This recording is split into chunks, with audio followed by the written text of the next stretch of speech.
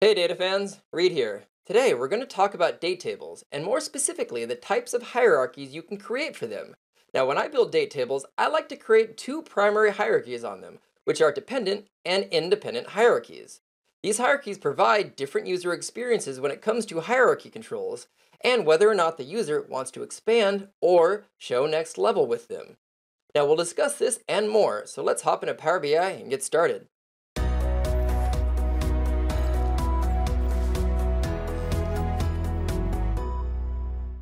So let's discuss a business case scenario. I have two tables in front of us here, and I want to discuss the differences between the hierarchy controls and what I have in here. So I'm going to go ahead and select the one with the dependent hierarchy. If I open up my calendar table and come to my hierarchies folder, expand this out just a little bit, I have something in here that I've named dependent hierarchy. So that means that these levels are dependent on each other. This is just the year only, simply quarter only, and that means it's like Q1, Q2. This is just simply month name and then date.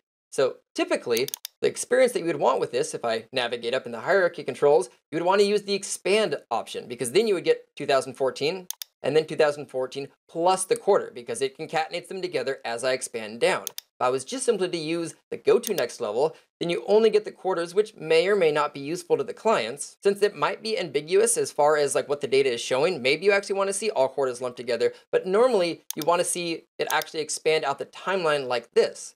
And to enforce that, what you can also do is you can disable this entirely, where the go to next level can be turned off.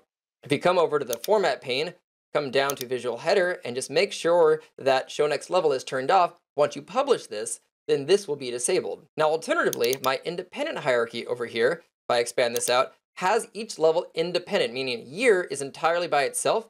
Quarter year is both the year and the quarter concatenated together in this column, Month year is the same, and then date. So every one of these can actually show the entire timeline by itself, meaning that at the top level, I can go to next level, and then it already has that data for me. So if I expand this out again, and now because month and year is showing in here, and that is also a date data type, it allows it to show a continuous axis. Now watch if I actually go over here and expand one further down all the way down to the month level. It's showing a categorical axis because it cannot do a continuous axis when it's showing all of these levels. So now I start to get a scroll bar and some issues can come up with that. If I go down to the date level, same thing happens. It's showing it with every single one as an individual category. If I come back over to here, go to the next level, I still get that continuous date range. So I kind of like independent hierarchies myself when I build things out for customers, but I always want to make sure to give them at least both options of whether or not you want a dependent hierarchy or an independent hierarchy.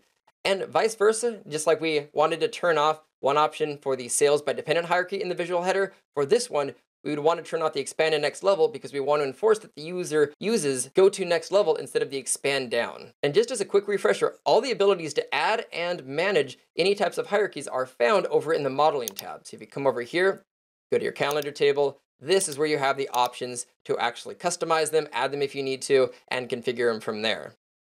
But overall, my goal was just to show you the different types of hierarchies that can be built and deployed in a Power BI report, specifically because it can change how you use the visual header and maybe what types of controls you may or may not want to enable and enforce the users to use certain features, depending on what their preference is on how they want to navigate up and down, and again, my personal preference is I kind of like independent hierarchies because I think it allows for the continuous axis to be used uh, more fluidly and intelligently versus the other one, but I'll leave that up to you to decide which one you prefer.